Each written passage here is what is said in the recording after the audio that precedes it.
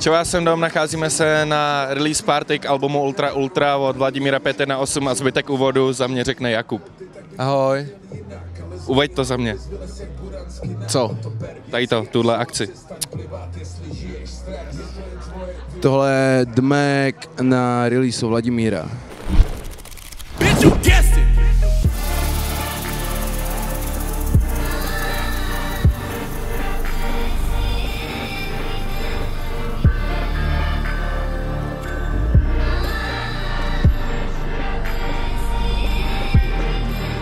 Takže jsme tady s Vladimírem 5 na 8. Hele, první otázka, taká klasická obhajovačka, proč by lidi měli poslouchat Ultra Ultra?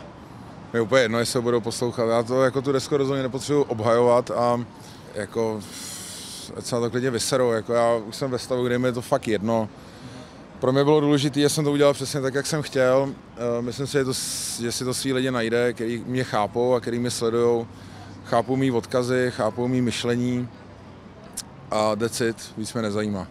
Jak vznikla vaše spolupráce s Logicem a po případě nechtěl si být i ty na jeho albumu? Já nechci být na žádných albumech, tyvo, jako představovat, že si říkám, že nějakým albu, tyvo, to je úplně hrozivý. Jsem na těch albumech, kde jsem a je mi to úplně jedno, jako fakt nemám ambice někde být. A mně přišlo, že začíná dělat fajn věci a řekl jsem si, že by bylo dobré, aby tam byl. Jakou první písničku od něho si slyšel, pamatuješ si to?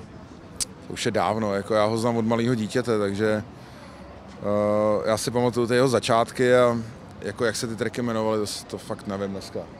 Ale k albumu máš několik coverů, o, má každý nějaký jiný meaning?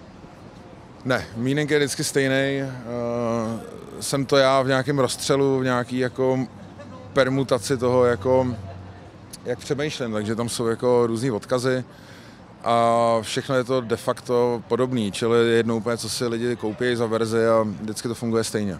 OK, super, díky moc. Check it out.